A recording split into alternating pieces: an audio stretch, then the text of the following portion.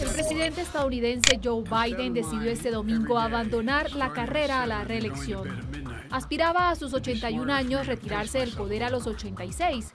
Con esa edad hubiera acabado un eventual segundo mandato, pero ha tenido que renunciar, precisamente por las críticas a su capacidad física y mental.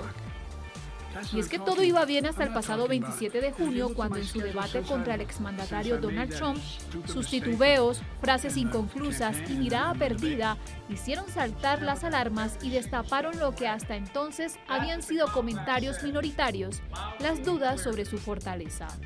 Un día después de su desastroso cara a cara televisado con Trump, el primero de este nuevo ciclo electoral, intentó aplacar el temor que su comparecencia había provocado en sus propias filas y en la ciudadanía para regocijo de los conservadores. Sin embargo, finalmente este 21 de julio el político demócrata cedió a la presión y anunció su retirada. Lo hizo en una carta a la ciudadanía en la que afirmó que cree que debe poner fin a su carrera a la reelección por el interés del partido y del país.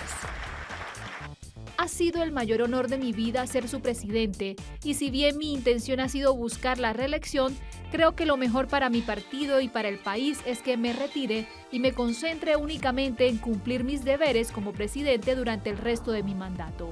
Apuntó el mandatario de 81 años, quien está aislado en su domicilio de Delaware, recuperándose de la COVID que padece.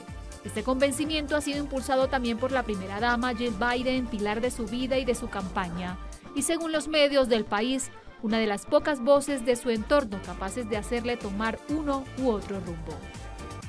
Se espera que en los próximos días Joe Biden se dirija a la nación para explicar su decisión.